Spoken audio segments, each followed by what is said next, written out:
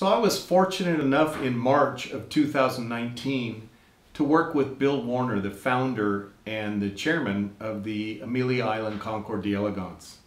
Bill and I gifted the honoree that year, Jacky Ickx, with a painting. The original painting is three feet by four feet. We surprised Jacky Ickx as well as Jurgen Barth and Hurley Haywood. So the fun part of this, I call it my historical series. It's his, it's Jacky Ickx classic, dark blue with a white helmet, the 936 Porsche that they won at Le Mans, as well as a Ferrari, which he won eight Formula One races in, and of course the GT Ford that he won at Le Mans as well. And this is the Porsche that he raced to many, many victories. So if you take a look, a snapshot of Jacky Ickx's career, you can see it here. And Jacky's a wonderful individual and was very pleased with this surprise painting that Bill and I gave him at Amelia Island. The next one we did at the same event was Jurgen Barth. And Jurgen Barth was an engineer for Porsche and he also was a race car driver. He's also one of the world's renowned Porsche historians. His knowledge is incredible. The interesting thing is Jurgen's father also worked for Porsche and Jurgen's father raced a 550 Porsche in the 1950s. So when we gave this painting to Jurgen Barth, there was a, a glint of a tear in his eye.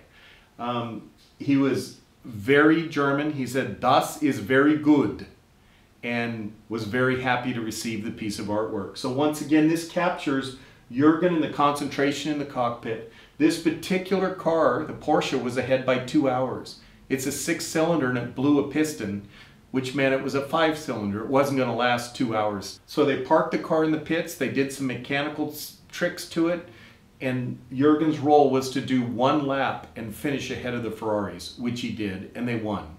It's a spectacular story. I invite you to look into it a little more closely. Additionally, I did a painting for Hurley Haywood. Hurley Haywood started racing with Peter Gregg at Brumos Porsche in the 70s. He was right away very quick. Believe it or not, the first car he raced, he autocrossed a Corvette. However, he is true and true a Porsche guy. He worked at Brumos Porsche for years. He worked, drove for uh, Brumos Racing for many, many decades. And he still to this day is an ambassador for both Brumos, the Brumos collection and Jacksonville Porsche.